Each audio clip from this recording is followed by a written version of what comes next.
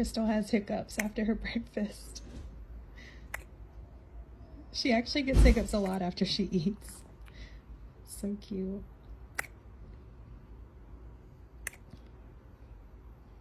Goodness, baby.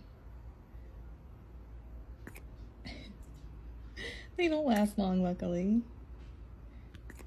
I just want to show y'all how cute.